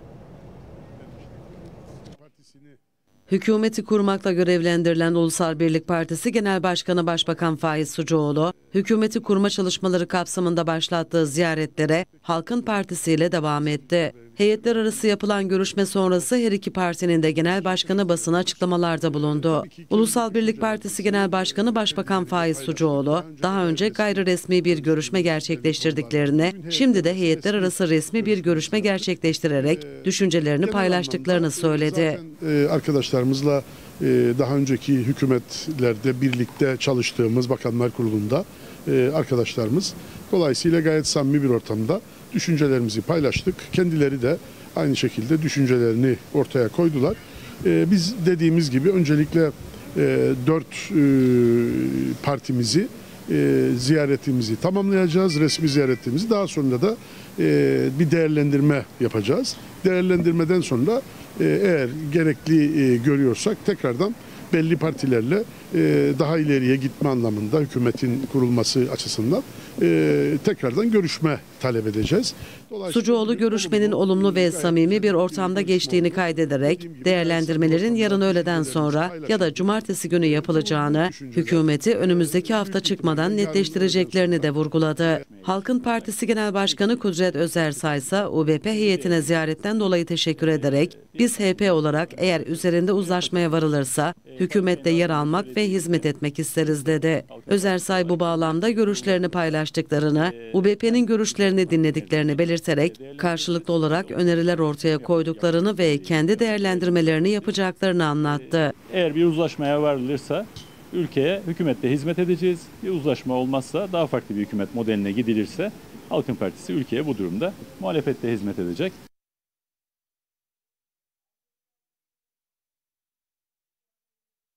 Sayın seyirciler Halk TV'de Türk Mukavemet Teşkilatı'nın illegal yarı resmi bir oluşum olarak nitelenmesine Cumhurbaşkanı Ersin Tatar'dan sert tepki geldi. Cumhurbaşkanı Tatar, Kıbrıs Türk halkının bağrından doğan Türk Mukavemet Teşkilatı bir saldırı örgütü değil, Rum katillerin saldırılarına ve katliamlarına karşı halkımızı savunan ve savunan ve koruyan bir direniş örgütüdür vurgusunda bulundu. Cumhurbaşkanlığından yapılan açıklamaya göre Cumhurbaşkanı Ersin Tatar, Türk Mukavemet Teşkilatı'na yönelik hadsiz iftira ve karalamalara sert tepki gösterdi. Tatar, Rum-Yunan ikilisinin Kıbrıs'ı silah zoruyla bir Helen adası yapabilmek amacıyla devreye koyduğu EOKA terör örgütünün 1 Nisan 1955 tarihinde silahlı saldırıları başlatırken Kıbrıs Türk halkının tamamen savunmasız bir şekilde katledildiğini, köylerin ateşe verildiğini ve insanların göç ettiğini anımsattı. Halkı bu saldırılara karşı koruyabilmek amacıyla Mukavemet Birliği, Volkan ve 9 Eylül direniş örgütlerinin oluşturulduğunu ve bu direniş örgütlerinin tek çatı altında birleşmesiyle de 1 Ağustos 1958 tarihinde Türk Mukavemet Teşkilatı'nın oluşturulduğunu hatırlatan Tatar, Kıbrıs Türk halkının bağrından doğan TMT'nin bir saldırı örgütü değil, Rum katillerin saldırılarına ve katliamlarına karşı halkı savunan ve koruyan bir direniş örgütü olduğunu vurguladı. Türk Mukavemet Teşkilatı öncülüğünde verilen destansı direniş sonrasında Kıbrıs Türk halkının 1960'ta kurulan Kıbrıs Cumhuriyeti'nin eşit kurucu ortağı olduğuna işaret eden Cumhurbaşkanı Tatar, ama ne var ki Kıbrıs Cumhuriyeti'ni Enosis'e bir sıçrama tahtası olarak değerlendiren Rum liderliği hazırladığı Akritas planı doğrultusunda halkımızı yok edebilmek ve Enosis'i gerçekleştirebilmek amacıyla 21 Aralık 1963 tarihinde kanlı Noel saldırılarını başlatmıştır, dedi. Bu saldırılara karşı Türk Mukavemet Teşkilatı'nın yine büyük bir direniş gösterdiğini ve Türk Mukavemet Teşkilatı'nın neferlerinin Türklüğün onur ve şerefini korumak, Enosis'i önlemek uğruna toprağa girdiğini kaydeden Tatar, vatan uğruna canlarını veren şehitleri unutmanın mümkün olmadığını vurguladı. Tatar, Türk Mukavemet Teşkilatı olmasaydı 20 Temmuz 1974 sabahına ulaşmamız mümkün olmayacak ve Kıbrıs bir Helen adası olacaktı. Bugün vatan bildiğimiz bu topraklarda özgür ve egemen olarak kendi devletimizin çatısı altında yaşıyorsak, bunu Türk Mukavemet Teşkilatı'na, şehitlerimize ve ana vatan Türkiye'ye borçluyuz, dedi. Kıbrıs Türk halkının mücadele ve direniş azmini oluşturan Türk Mukavemet Teşkilatı'na yönelik çirkin ve gerçek dışı iddia, iftira ve yalanların hedefinin mücadeleyi zaafa uğratmak ve karalamak olduğuna işaret eden Tatar, Rum işbirlikçisi, ajan provokatörlerle kendini bilmezlerin bu çirkin saldırılarına karşı seyirci kalacak değiliz. TMT ile halkımızın evlatlarını ve şehitlerimizi suikastçı ve katil olarak suçlayanlara karşı gereken mutlaka yapılacaktır. Vurgusu yaptı. Cumhurbaşkanı Tatar açıklamasında TMT Kıbrıs Türk halkıdır. TMT ulusal mücadelemizdir. TMT direniş ruhumuz ve azmimizdir. TMT'den ve şehitlerimizden aldığımız güç ve ilhamla mücadelemize devam edeceğiz. Ulusal direnişimizde toprağa giren TMT'nin atsız neferleri, halkımızın evlatları ve tüm şehitlerimiz rahat uyuyun. Aziz hatıralarınızı kimsenin kirletmesine asla müsaade etmeyeceğiz. Ruhunuz şad olsun. Vatan size minnettardır, dedi. Cumhurbaşkanı Ersin Tatar, TRT Haber'e de katılarak değerlendirmelerde bulundu. Tatar, tarihten çok iyi not almak ve bilmeden konuşmamak gerektiğini işaret ederek, Türk Mukavemet Teşkilatı'nın her zaman Kıbrıs Türk halkının savunulmasında önemli görevler üstlendiğini anımsattı. 1 Ağustos 1976'da da Türk Mukavemet Teşkilatı resmi olarak Güvenlik Kuvvetleri Komutanlığı'na dönüştürülmüştür. Yani resmi kayıtlar bunu söylüyor ve biz bütün bu törenlerde yaptığımız değerlendirmeler ve konuşmalarda komutanlarımız da dahil Güvenlik Kuvvetleri Komutanlığımız 1 Ağustos 1976'da Türk Mukavemet Teşkilatı'nın devamı olarak kurulmuştur ve bugün e, Kuzey Kıbrıs Türk Cumhuriyeti'nin Güvenlik Kuvvetleri Komutanlığı buranın asayişini, huzurunu, güvenini korumak için e, görev başındadır. Dolayısıyla tarihe baktığımızda evet. gerçekten burada çok büyük hizmetler vardır. Çok önemli insanlar gelip geçmiştir. Çok şehitlerimiz vardır. Çok kahramanlarımız vardır. Ve gerçekten burada Mehmetçik ve Mücahid'in e, beraber şehit düşmeleri, beraber e, savaşmaları, beraber bu direnişleri e, yapabilmeleri büyük bir kahramanlıktır ve Türk milletine yakışır bir şekilde buradaki bütün bu e, yapılanlar e, milletimizin, ulusumuzun tarihinde, şanlı tarihinde e, e, o sayfalarda yer almaktadır. Dolayısıyla biz buradan e, bu konuları bilmeden bizim burada bazı marjinal grupların, bazı Rumcuların, evet. bazı Rum Yunanlarla işbirliği yapanların bizim Türk Mukavemet Teşkilatımıza zaman zaman çirkin e, söylemleri ve lafları meseleyi başka yere çekmek için yapılan bütün bu tartışmalara Türkiye Cumhuriyeti'ne de bazılarının alet olması bilmeden, okumadan, tam öğrenmeden bizi elbette üzer ama elbette bunlar yanıtsız kalamaz. Türk Mukavemet Teşkilatı ile ilgili sözlere bir tepkide Başbakan Faiz Sucuoğlu'ndan geldi. Sayın seyirciler Sucuoğlu, Türk Mukavemet Teşkilatı'nın mücadeleci ruhu ve şehitlerimizin kanıyla temeli atılmış Kuzey Kıbrıs Türk Cumhuriyeti'nin başbakanı olarak söz konusu sözleri esefle kınıyorum dedi. Başbakan Faiz Sucuoğlu sosyal medya hesabından Türk Mukavemet Teşkilatı ile ilgili sarf edilen sözlere sert tepki gösterdi. Başbakan Sucuoğlu'nun açıklaması şöyle. Türkiye'de özel bir televizyon kanalında sunucu Ayşenur Arslan'ın yorum adı altında sarf ettiği Türk Mukavemet Teşkilatı ile ilgili sözleri Kıbrıs Türk halkının mukavemetçi ruhunda derin bir yara açmıştır.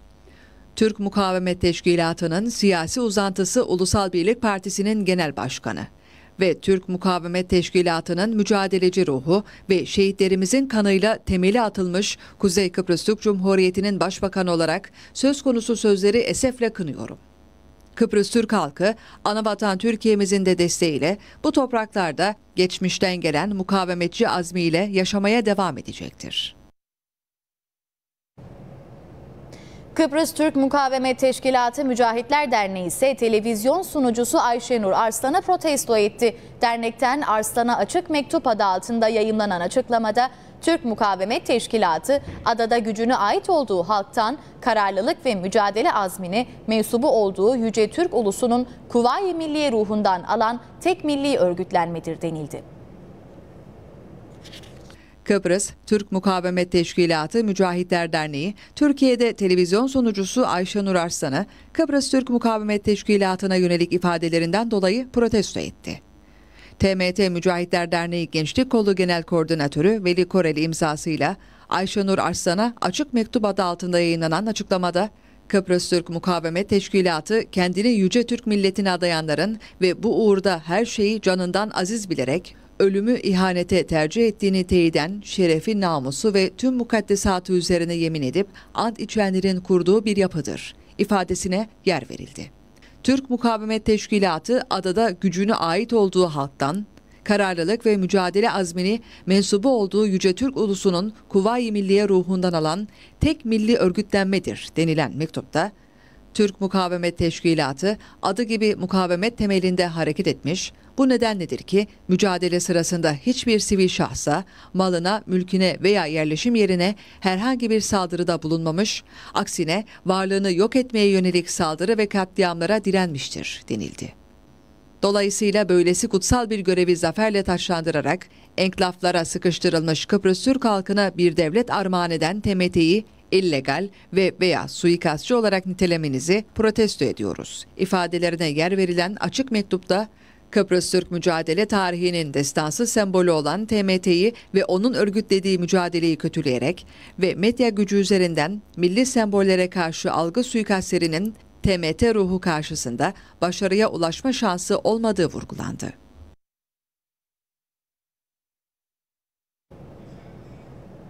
Türk Mukavemet Teşkilatı ile ilgili sözlere Türkiye'den de tepki yağdı değerli izleyenler. Türkiye Cumhurbaşkanı Yardımcısı Fuat Oktay, Türk Mukavemet Teşkilatı'nın Kıbrıs Türk halkının destansı direnişinin abideleştiği yer olduğunu vurguladı.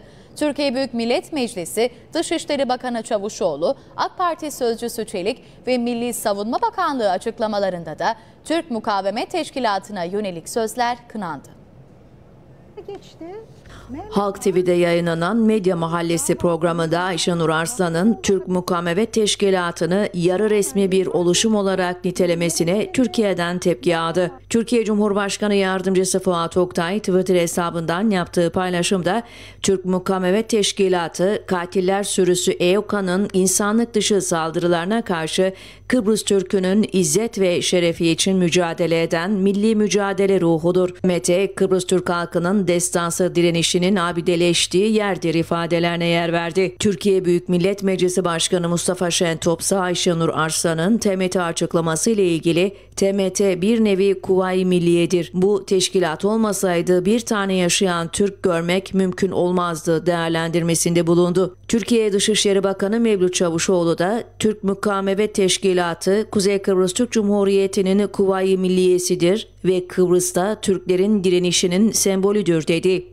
TMT'nin mafya ve illegal faaliyet ya da cinayetlerle birlikte anılmasının herkese üzeceğini kaydeden Çavuşoğlu, Kıbrıs bir milli mesele politikasıdır. Başka konularda görüş ayrılığımız olabilir. Kıbrıs davası hepimizin davasıdır. İnşallah bir düzeltici açıklama da yaparlar. Çünkü gördüğüm kadarıyla bu açıklamalar hem Kuzey Kıbrıs Türk Cumhuriyeti'nde hem de Türkiye'de infial yarattı. Dikkatli olmak lazım diye konuştu. AK Parti sözcüsü Ömer Çelik de Türk Mukavemet Teşkilatı Kıbrıs Türk'ünün katliam şebekesi olan EOKA'ya karşı şanlı direnişinin odağıdır. Şehitlerimize rahmet diliyoruz. EOKA adlı katliam şebekesinin varislerine karşı direniş ruhu aynı kararlılıktadır dedi. Çelik artık zamanıdır. Bundan sonra toplu vursun yüreklerimiz diyerek katliam şebekesi EOKA'ya karşı dünyanın en namuslu ve meşru mücadelesini veren TMT Kuvayi Milliye'dir. Cumhurbaşkanımızın her fırsatta altını çizdiği gibi Kıbrıs Türk'ü asla yalnız değildir ve ve yalnız kalmayacaktır. Bağımsız ve hür yaşayacaktır. EOKA adlı katliam şebekesi ve diğerleri Kıbrıs Türk'ünün direniş iradesi karşısında her zaman yenilecektir ifadelerine yer verdi. Türkiye Milli Savunma Bakanlığı açıklamasında ise TMT'nin terör örgütü EOKA'nın canice cinayetlerine ve soykırım girişimine karşı Kıbrıs Türk'ünün can ve mal güvenliğini korumak üzere kurulduğunu belirterek Türk Mukavemet Teşkilatı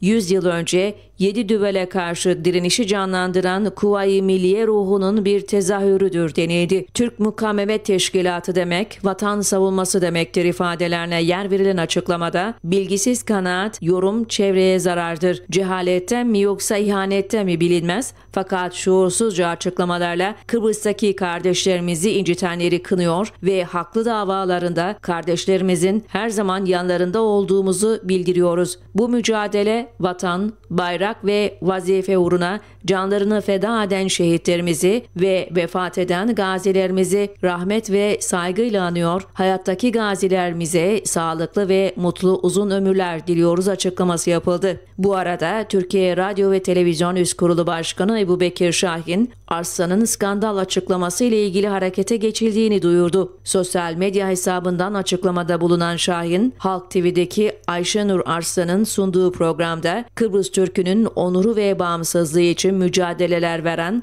Türk Mukavemet Teşkilatı'na yönelik sözlerle ilgili inceleme başlatılmıştır ifadelerine yer verdi. Evet sayın seyirciler haber bültenimize bir ara veriyoruz. Şimdi bölge bağlantısıyla devam edeceğiz. Bugün Ankara'dan bilgiler alacağız. Tabii ki Ankara'nın gündemine değinmeye çalışacağız. Ancak BRT Ankara muhabirimiz Bülent Göksen şu anda stüdyomuzda. Bugün kendisinden böyle yüz yüze olarak alacağız Ankara'daki gelişmeleri. Sevgili Bülent Göksen neler söyleyebileceksiniz bize Ankara'dan? Günaydın Sonay. Ee, Ankara gündemi TMT ile ilgili söylenen sözlerden sonra e, yapılan yorumlarla başlamak istiyorum. Türkiye Dışişleri Bakanı Mevlüt Çavuşoğlu gazeteci Ayşe, Ayşenur Arslan'ın TMT ile ilgili sarf ettiği sözlerine büyük bir e, yanılgı olduğuna inanmak istediğini, Türk Mukavemet Teşkilatı'nın Kuzey Kıbrıs Türk Cumhuriyeti'nin Kuvayi Milliyesi olduğunu söyledi. Çavuşoğlu e, TMT'nin illegal illegal işlerle anılması hepimizi üzer. Kıbrıs bir milli politikadır. Kıbrıs Türklerin ve Türkiye Cumhuriyeti'nin davasıdır Kıbrıs. Kuzey Kıbrıs Türk Cumhuriyeti de ve Türkiye'de infial yarattı bu açıklama. İnşallah düzeltici bir açıklama yaparlar ifadesini kullandı. Mevlüt Çavuşoğlu 54 sene federasyonun müzakere edildiği ettiklerini ve artık e, başarıya ulaşamadıklarının altını e, çizerek bunun nedeninin de Rum kesiminin tutumu olduğunu, TMT'nin de bu mezalime karşı Kıbrıs Türk halkını korumak için kurulduğunu açıkladı Bakan Çavuşoğlu. Türkiye Cumhurbaşkanı Erdoğan ve eşi e, Emine Erdoğan geçtiğimiz cumartesi günü koronavirüse yakalanmışlardı. Sosyal medya hesabının duyurmasından duyurmasının ardından e, Erdoğan ve eşine e, Cumhurbaşkanı Ersin Tatar ve Başbakan Faiz Sucuoğlu başta olmak üzere siyasilerden ve dünya liderlerinden geçmiş olsun mesajları gelmişti. İstanbul Üsküdar Kısıklı'daki, Kısıklı'daki evinde izolasyon e, süreci devam ediyordu Erdoğan'ın. Dün yapılan e, testin negatif çıkmasıyla Erdoğan'ın hastalığı geçirdiğini söyleyebiliriz. Bugün de İletişim Başkanlığı'ndan e, Cumhurbaşkanı Erdoğan'ın programı yayınlandı. Saat 14.30'da Vahdettin Köşkü'nde Erdoğan Türk Devletleri Teşkilatı Aksakallar Konseyi heyetini kabul edecek. Erdoğan'ın ardından e, Milli Savunma Bakanı Hulusi Akar ve e, İklim Değişikliği, Çevre Şehircilik ve İklim Değişikliği Bakanı Murat Kurum da koronavirüse yakalandı. Erdoğan'ın ve eşinin e, korona yakalanmasının ardından yapılan açıklamalarla, sosyal medya paylaşımlarıyla ilgili olarak Ankara Cumhuriyet bazı olumsuz e, paylaşımlarla ilgili olarak Ankara Cumhuriyet Başsavcılığı resen bir soruşturma başlattı ve bu konuda bir açıklama yaptı. E, açıklamada bir kısım paylaşımlarda Cumhurbaşkanı hakaret, dini değerleri aşağılama ve suç teşkil eden ifadelerle ilgili olarak Cumhuriyet Başsavcılığımız yetkisinde tespit edilen şüpheliler hakkında resen soruşturma başlatılmış olup konuyla ilgili gerekli adli işlemler kolluk birimleriyle birlikte yürütülmektedir denildi. Ardından Emniyet e, Genel Müdürlüğü Siber Suçlarla Mücadele Daire Başkanlığı ve bağlı il birimleri sanal devriye ve sosyal medya platformlarında konuyla ilgili paylaşımları incelemeye aldı. Bu incelemenin sonunda 36 hesapla ilgili hakaret içerikli paylaşım yaptıkları gerekçesiyle inceleme yürütüldü. Yapılan açıklamaya göre de 31 yönetici e, tespit edildi ve bunlardan 8'i hakkında da gözaltı kararı verildi. Adresleri tespit edilen 4 kişi ise gözlem altına alındı. Korona gündemiyle devam edecek e, olursak e, Türkiye Sağlık Bakanı Doktor Fahrettin Koca sosyal medya hesabından yaptığı paylaşımda yerli aşı Türkovak'ın gitmediği il kalmadığını belirterek aşı olmayan kalmasın. Şehir hastaneleri, eğitim ve araştırma hastaneleri başta olmak üzere 81 ilimizde korona e, Türkovak aşısını kullanmaktayız dedi. E, eğitime başlanmasının ardından Türkiye'de e, Milli Eğitim Bakanı Mahmut Özer de okullarda kesintisiz yüz yüze eğitimin ikinci dönemde aynı kararlılıkla e, süreceğini bildirdi. Sağlık Bakanlığı ve Bilim Sağlık Bilim Kurulu'nun tavsiyeleri doğrultusunda gerekli önlemleri toplam 71.320 okulda aldıklarını aktaran Bakan Özer, birinci dönemde yüz yüze kesintisiz şekilde eğitime devam edildiyse aynı kararlılıkla bu dönemde de yollarına devam edeceklerini söyledi. Bakan Özer 850 bin derslikten sadece 50'sinde vaka nedeniyle veya yakın temas nedeniyle yüz yüze eğitime ara verildi. Şu an itibariyle omikron varyantının yaygınlığı çok yüksek olmasına rağmen okullarımıza yansıması son derece düşük ifadelerini kullandı. Geçtiğimiz günlerde 3 Şubat'ta Isparta'da yoğun kar yağışının ardından e, olumsuzluklar yaşanmıştı. Bu olumsuzluklar e, giderilmeye büyük e, giderilmeye devam ediyor. E, yolların kapanması ve iletken tellerinin kopması, direklerin yıkılması ve trafo merkezlerinin arızalanması nedeniyle elektrik sıkıntısı yaşanmıştı. 600'e yakın personel ve 200 aşkın iş makinesinin müdahalesiyle Isparta il merkezi ile ilçe merkezlerindeki elektrik sıkıntıları geçtiğimiz pazar akşamı giderildi. Türkiye Enerji ve Tabi Kaynaklar Bakanı Fatih Dönmez de Isparta'da yaşananlar ve alınan tedbirlerle ilgili olarak bir açıklama yaptı. Bakan Dönmez, Isparta'daki elektrik kesintileri sonucu vatandaşların fatura tahsilatlarının bir ay ertelendiğini açıkladı. İlk anda Isparta'ya 113 bin vatandaşa elektrik sağlayamama durumun olduğunu aktaran e, Bakan Dönmez, e, her gün ilçe, il ve köylerden başlamak üzere arızaların süratle elektriklendirildiğini e, ifade etti. İran'ın teknik arıza gerekçesiyle 20 Ocak itibariyle Türkiye'ye gaz girişini durdurması ve hava şartlarından dolayı konut tüketiminin rekor seviyeye ulaşması nedeniyle artan talebi karşılamak için sanayi ve doğalgaz santrallerinde kısıtlamaya gidilmişti. BOTAŞ sosyal medya hesabında e, yaptığı açıklamada sanayi tesislerine uygulamakta olan kısıntının 8 Şubat 2022 tarih ve saat 8 itibariyle sonlandırıldığını duyurdu ve sanayicilere bu süreçte gösterdikleri anlayış ve işbirliği için teşekkür etti. Türk Enerji ve Tabi Kaynaklar Bakanı Fatih Dönmez de sanayi tesislerine doğalgazda uygulanan kısıntının 31 Ocak'tan itibaren %40'tan %20'ye düşüreceğini duyurmuştu. Profesör Doktor Necip e, Hablebitoğlu suikasti soruşturması kapsamında Ankara Cumhuriyet e, Başsavcılığı 3 kişi hakkında gözaltı kararı verdi. Başsavcılığın talimatıyla harekete geçen Ankara Emniyet Müdürlüğü Terörle Mücadele Şubesi ekipleri 3 Şubat Perşembe günü bu 3 kişiyi gözaltına aldı. Şüphelilerin Hablemitoğlu suikasti zanlılarından Nuri Gökhan Bozkır ile irtibatlı oldukları öğrenildi. Öte yandan zanlı Bozkır iki kez uzatılan ek gözaltı süresinin ardından salı günü sağlık kontrolünden geçirildikten sonra adliye sevk edildi. Soruşturma yürüten Cumhuriyet Savcısına ifade veren Nuri Gökhan Bozkır, silahlı örgüt üyeliği ve tasarlayarak adam öldürme suçlarından tutuklama talebiyle nöbetçi Suh Ceza Hakimliğine sevk edildi. Hakimlikçe sorgulanan Bozkır, örgüt üyeliği ve tasarlayarak öldürme suçlarından tutuklanarak e, cezaevine gönderildi. Ankara'da Etimesut Belediyesi tarafından sürekli eğitim ve uygulama merkezi tarafından farklılıkların birlikteliği karma sergisi bugün Ankara'da açılacak. Sergide UNESCO tarafından korumaya alınan Kıbrıs'ın yöresel el nakışı olan Lefkara nakışı eserleri de sergide yer verilecek. Evet sonra e, Ankara gündemi bu haftalık e, bunlardan bu maddelerden oluşuyor. Sözü sana bırakıyorum. Evet sevgili Bülent Göksen çok teşekkür ederiz Ankara gündemiyle ilgili bizlere aktardığın için ve değerli izleyenler e, bölge bağlantımızla birlikte daha doğrusu Ankara'dan bugün aldığımız bilgilerle birlikte sevgili Bülent Göksan'ın bizlere aktardığı bilgiler doğrultusunda sabah haberi burada yavaş yavaş noktalıyoruz. Öncelikle hava durumuyla sizleri baş başa bırakacağız. Fehmi Oktay'la birlikte hava durumundaki gelişmeleri takip edeceksiniz az sonra. Daha sonra ise manşet artı programında Aziz Karaziz ve Baykan Gürses'le birlikte program yayınımız devam edecek değerli izleyenler.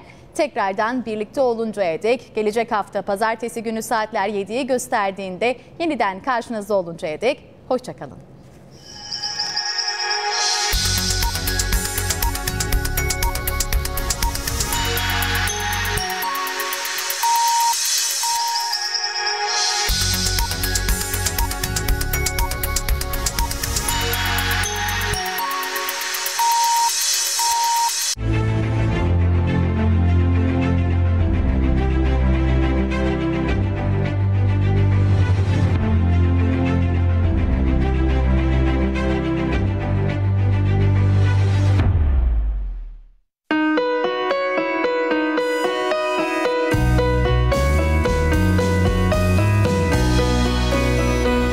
Markaların buluştuğu adres Toros hava durumunu sunar.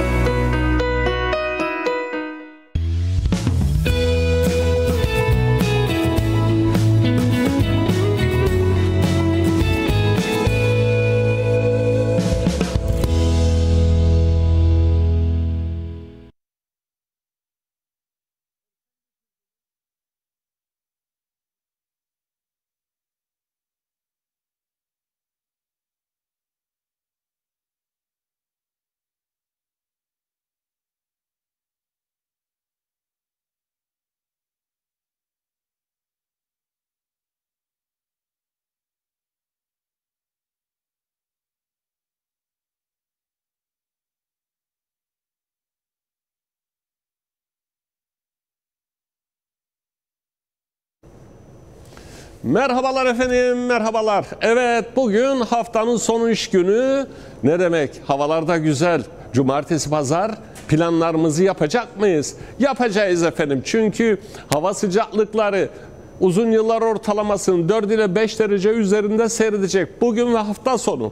Bugün ve yarın açık az bulutlu, bir ara öğle saatlerinde parçalı bulutlu geçerken sadece pazar günü ılık havayla birlikte e, parçalı çok bulutlu bir görünüm olacak.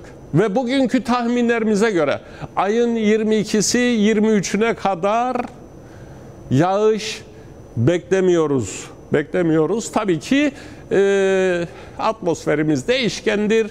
E, yine sizlerle beraber oldukça konuşacağız ve hava raporlarını günlük olarak söyleyeceğiz.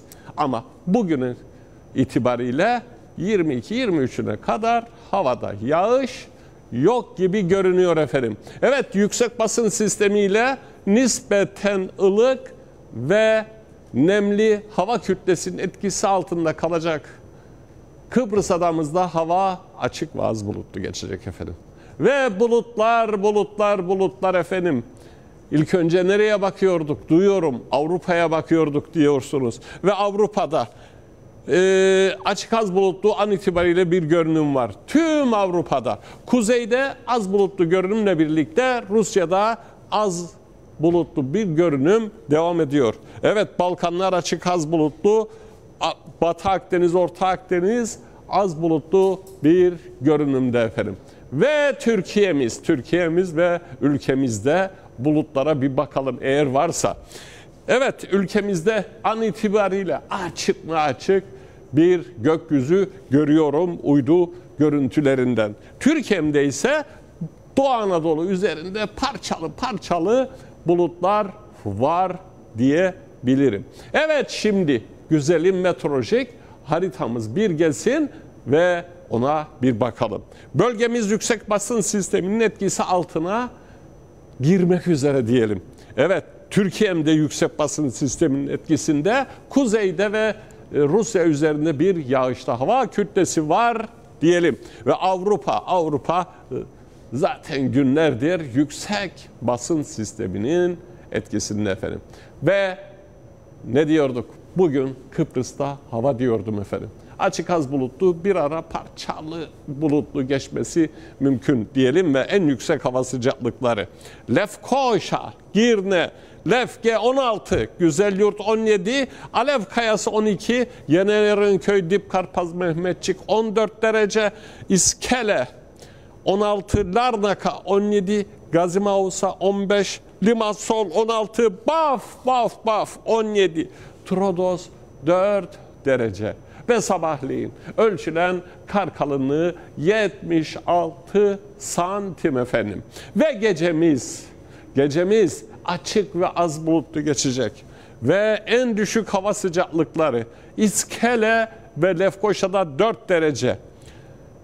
Lefke'de 10, Güzelyurt'ta 5, Girne'de 9, Yeni İskele'de, Yeni Erenköy'de 8, İskele'de 4, Gazimausa'da 6, Larnaka'da 8, Limasol'da 7, Baf'ta 6 ve Trodos'ta eksi 6 derece. Ve ılık havanın etkisinde kalacak Kıbrıs'ımızda cumartesi ve pazar günleri. Cumartesi günü açık ve az bulutlu, bir ara parçalı bulutlu geçerken pazar günü ise ne olacak? parçalı çok bulutlu olacak. Cumartesi ve pazar günlerinin en yüksek hava sıcaklıkları. Lefkoşa'da 19 derece, Güzelyurt'ta 18, Lefke'de 17, Girne'de 18, Alev Kayası'nda 14, Yenerenköy, Dipkarpaz ve Mehmetçik'te 16, Gazimavsa'da 17, İskele'de 18, Larnaka'da 19, Limasol'da 17, Baf'ta ise 19, Trodos 5 derece efendim. 5 derece. Ve ve ve denizlerimiz efendim. Denizlerimiz hafif yer yer orta dalgalı geçerken kuzey sahillerde kuzey ve batıdan diğer sahillerimizde ise güney ve batıdan 3 ile 5 kuvvetinde bir rüzgar esecek. Hafif yer yer orta dalgalı dedik. 1-2 metrelik de dalga yüksekliği olabilir bu rüzgar gücünden. Ve güzelim Kıbrıs'ımızdan sonra dünyamız dönsün efendim, dünyamız dönsün ve Türkiye'mde hava. Evet, bakıyorum bakıyorum. Sadece sadece bugün seçtiğim şehirlerde Van'da kar yağışı var ve 5 derecelik de bir sıcaklık. Diğer şehirlerimizde ise seçtiğim şehirlerde ve ise açık haz bulutlu, zamanla parçalı bulutlu bir görünüm olacak. Ve İstanbul 9 derece, Ankara 8, İzmir 18, Antalya 17, Adana 16, Hatay 15, Gaziantep 13, Samsun 14, Diyarbakır 11, Trabzon 10 derece, Erzurum 1 derece efendim. Ve Büyük Britanya ile İrlanda adasına bir göz atalım. Ve İrlanda diyelim, Dublin diyelim. Dublin parçalı bulutlu 7, Londra parçalı bulutlu 9 ve Edinburgh çok bulutlu 8 derece. Ve Cebeli Tarak'a gidiyoruz efendim. Ve onun yanında Lisbon şehri var. Lisbon'da 19 derece. Parçalı bulutlu. Madrid ise 18 yine parçalı bulutlu ve Batı Avrupa'ya bir göz atarsak parçalı bulutlu bir görünümde olacak. Neresi? Batı Avrupa. Paris 9, Brüksel 8, Amsterdam 6, Frankfurt 7, Köln ve Berlin'de ise en yüksek hava sıcaklığı 5 derece efendim. Ve Viyana'da ve Budapeşte'de hava parçalı bulutlu geçecek. Viyana 9, Viyana 7, Budapeşte 12 derece. Dubrovnik 14 derece parçalı bulutlu, Roma 13 derece parçalı bulutlu. Ve Üsküp ve Sofya. Bugün Üsküp, Sofya, Bükreş ve Atina'da parçalı bulutlu bir görünüm olacak. Atina 16, Üsküp 12, Sofya 11 ve Bükreş 12 derece. Ve Moskova. Moskova bugün kar yağışlı ve 1 derece. Helsinki bu çok bulutlu eksi 1. Oslo ise parçalı az bulutlu 1 derece efendim. Ve Doğu Akdeniz. Tel Aviv'de bugün yer yer sağanak yağmur bekliyorum. Ve en yüksek hava sıcaklığı Tel Aviv'de 16. Beyrut bugün açık az bulutlu 15. Kahire parçalı az bulutlu 18 derece efendim. Ve Cezayir Tunus'ta hava açık ve az bulutlu geçerken Cezayir'de en yüksek hava sıcaklığı 18, Tunus'ta ise 19 derece efendim. Evet rüzgarlarımız bugün ve hafta sonu kuzey sahilde kuzey ve batıdan diğer sahillerimizde güney ve batıdan orta kuvvetle esecek. Ee, hava sıcaklıkları 18 19 dereceli derece aralığında olacak bugün ve hafta sonunda. Evet hafta sonunda pazar günü yalnız pazar günü parçalı çok bulutlu bir görünüm olacak. Ilık bir havada geçireceğiz pazarı da. Cumartesi pazar ise açık ve az bulutlu. Yağış ne zaman bekliyoruz? Yağış 22-23 Şubat'tan sonra olabilir diye düşünüyorum. Bugünkü tahminlerimize göre. Evet, diğer yayınlarda görüşmek üzere. Hoşça kalın, hoşça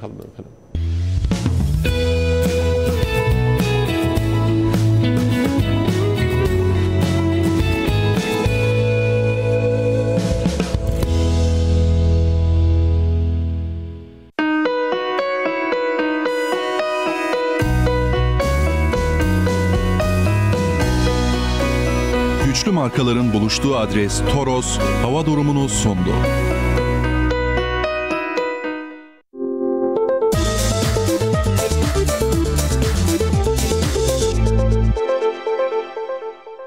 Nikosya Grup Kıbrıs Kupası'nda gözler çeyrek final kurallarına çevrildi. Kupada Girne Halkevi Mausa Türk Gücü, Doğan Türk Birliği, Cihangir, Mesarya, Yonpaş Dumlupınar, Yeni Cami ve Küçük Kaymaklı çeyrek finale yükselen takımlar olmuştu. Çift maç eliminasyon sistemine göre oynanacak çeyrek final maçları öncesi kura çekimi ise 14 Şubat'ta saat 15'te Kıbrıs Türk Futbol Federasyonu Ahmet Sami Topçan salonunda yapılacak.